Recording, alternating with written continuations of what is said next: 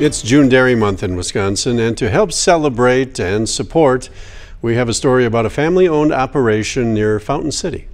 In the early 2000s, we came to the beautiful bluffs of Fountain City, Wisconsin from Minnesota so my family could pursue our dream of being dairy farmers. That dream involves building a multi-generational farm, and they're right on track. Building a family legacy is something that we're really proud of here in Wisconsin. Not only do we get to continue to dairy farm, which is something that has been in our family for generations, but also have the opportunity to pursue something that we love. And on the farm, everyone helps out when help is needed.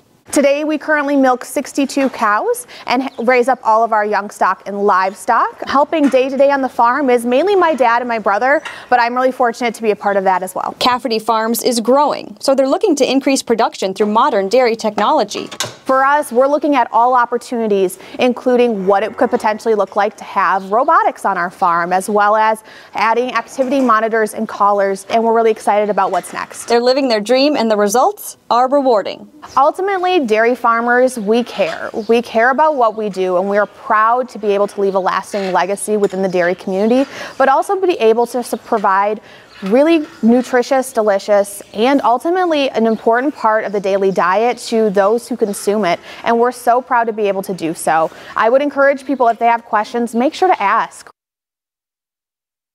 And to find a local dairy breakfast near you, you can visit wisconsindairy.org.